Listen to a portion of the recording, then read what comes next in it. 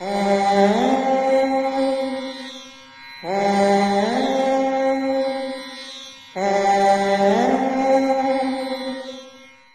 నమస్కారం.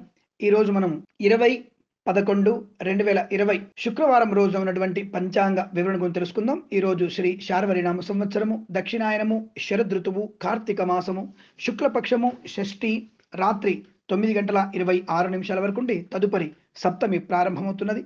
ఉత్తరాషాఢ నక్షత్రం.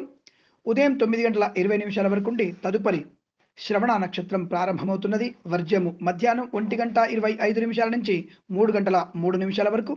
దుర్ముహూర్తం ఉదయం ఎనిమిది గంటల ఇరవై తొమ్మిది నిమిషాల నుంచి తొమ్మిది గంటల పదమూడు నిమిషాల వరకు తిరిగి మధ్యాహ్నం పన్నెండు గంటల పన్నెండు నిమిషాల నుంచి పన్నెండు గంటల యాభై ఏడు నిమిషాల వరకు దుర్ముహూర్త వ్యాప్తి ఉందన్న విషయాన్ని గుర్తించండి.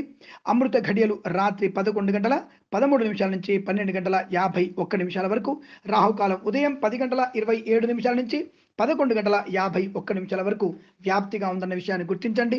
నేను చెప్పినటువంటి శుభ సమయాలను పంచాంగంలో ఉన్నటువంటి వర్జాది దుర్ముహూర్తాదులను రెండింటినీ కూడా సమీకరణ చేసుకొని శుభమైనటువంటి మీ కార్యక్రమాన్ని ఏర్పాటు చేసుకొని విజయవంతంగా పూర్తి చేసుకుంటారని ఆశిస్తున్నాను.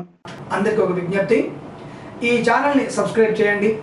పది మందికి ఉపయోగపడేటువంటి అమూల్యమైనటువంటి సమాచారం ఇందులో ఉంటుంది. దయచేసి ఇది పది మందికి చేరడం వల్ల మంచి స్వప్రయోజనము. అందరి వ్యక్తులను కూడా ఆనందమైన సమయాన్ని కేటాయించుకోవడము. శుభమైనటువంటి పరంపరలో ముందుకు ప్రయాణం చేయడం జరుగుతోంది. కాబట్టి దయచేసి ఇది పది మందితో షేర్ చేసుకునే ప్రయత్నం చేయండి. ఇందులో ఏవైనా లోటుపాట్లు ఉన్నట్టయితే తప్పకుండా నాకు కామెంట్ చేయండి. దానివల్ల నేను కూడా నా యొక్క ఏదైనా పొరపాటుని సర్దిద్దుకునే ప్రయత్నాన్ని తప్పకుండా చేస్తానన్న విషయాన్ని ఒకసారి గుర్తు చేసుకోండి. దాదాపుగా మళ్ళీ మళ్ళీ మిమ్మల్ని రిక్వెస్ట్ చేస్తున్నాను. ఈ ఛానల్ని సబ్స్క్రైబ్ చేయండి. అందరికీ షేర్ చేసే ప్రయత్నాన్ని గట్టిగా చేయండి. స్వస్తి ప్రజాభ్య పరిపాలయంతా.